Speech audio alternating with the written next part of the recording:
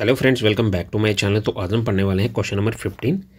what do you mean by precipitation reaction explain by giving examples तो आइए देखते हैं answer a reaction in which an insoluble solid called precipitate is formed is called a precipitation reaction means एक reaction में जब हमें एक ऐसा सॉलिड मिलता है जो कि इनसॉल्युबल होता है, उस मिक्सचर में या उस सोल्यूशन में, उसे हम बोलते हैं प्रेसिपिटेशन रिएक्शन फॉर एग्ज़ाम्पल हम सोडियम कार्बोनेट में कैल्शियम क्लोराइड जैसे ही डालते हैं तो हमारे पास आता है calcium carbonate plus sodium chloride in this reaction calcium carbonate is ये जो कैल्शियम कार्बोनेट है, ये होता है प्रेसिपिटेट बिकॉज़ एन जो है, वो वो सॉल्वल होता है, और ये जो है सी ए सी ओ थ्री ये इनसॉल्वल होता है तो इसे बोला जाता है प्रेसिपिटेट ठीक है?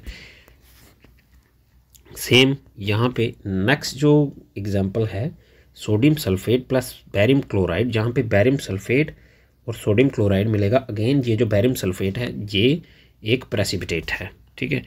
तो किसी भी रिएक्शन में जब एक इंसॉल्युबल सॉलिड सब्सटेंस बचता है बाद में, जो कि इंसॉल्युबल होता है, उसे बोला जाता है प्रेसिपिटेट आई होप ये क्वेश्चन आपको समझ आ चुका होगा।